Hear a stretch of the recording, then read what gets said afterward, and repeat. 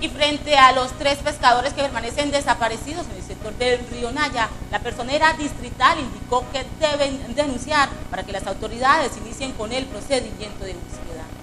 Preocupada se mostró la personera distrital Ingrid Arroyo ante los anuncios de posibles desapariciones de tres pescadores en el municipio del Naya. Dijo que ante el dolor y la incertidumbre de los familiares, las autoridades deben buscar mecanismos de inmediato para dar con las personas y sancionar a quienes los perpetúan. Lamentar este flagelo porque pues como hemos sido reiterados eh, la desaparición forzada es un delito de lesa humanidad que comporta rupturas tanto de los lazos familiares como eh, la, eh, el dolor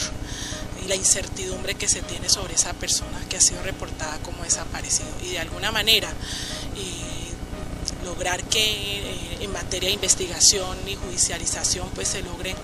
eh, los cometidos finales como es sancionar a quienes están perpetrando estos hechos. La funcionaria ante esta alerta señaló que el silencio ronda en el sector pesquero, pues nadie quiere dar algún tipo de información por temor a convertirse en nuevas víctimas de los delincuentes. La gente no denuncie, sino que tenga que irse a otro tipo de,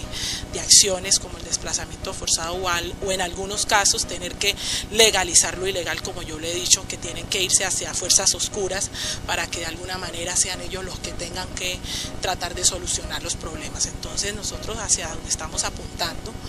es a no solamente trabajar desde la institucionalidad con la denuncia, sino que sea una cultura ciudadana, que todos no ser indiferentes a la problemática que se vive en la ciudad, sino que tenemos que colaborar con las autoridades para que de alguna manera desde allí se puedan lograr resultados efectivos. Dijo que la desaparición forzada se viene trabajando a través de las unidades de justicia y paz por su avance tecnológico para dar una respuesta clara a las familias de los desaparecidos.